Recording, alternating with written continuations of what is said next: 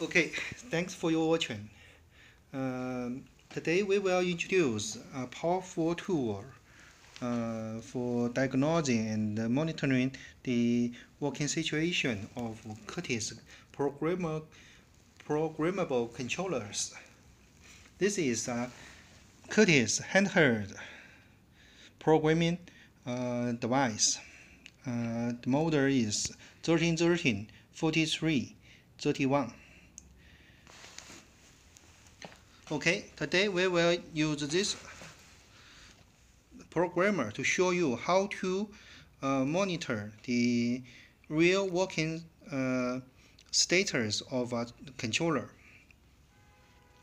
This is a uh, 0 to 5 kilo ohm potentiometer,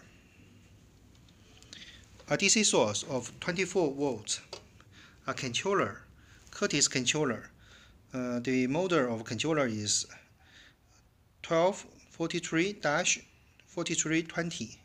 Is a three is a DC Sepex controller rated for 300 amperes.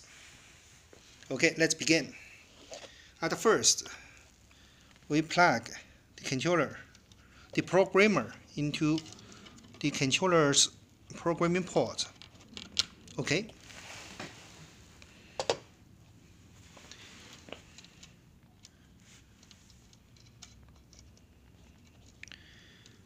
Then we will turn on the power.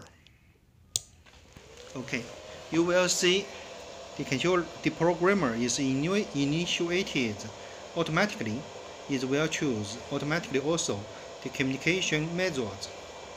Okay, we enter the parameter parameters menu for confirming if the throttle set throttle type setting is correct for Curtis 1243 controllers, the throttle type setting should be set as type 3 for 2-wire potentiometer. Okay, it's correct. Okay, we, we will enter the, we will enter into the monitor menu to see how we can uh, uh, observe, the real situation of controllers working uh, status. You can see the battery voltage now is 20, 23 volts, but uh, today we will show only the percentage, uh, the throttles uh, increase and decrease with the potentiometer. Okay, is now at the initial position so it's a 0% throttle with 10 clockwise. You see, the throttle increases till the full end. Okay, we turn to its back. We turn to back to 0% throttle. Okay with the throttle input, the controller will adjust its output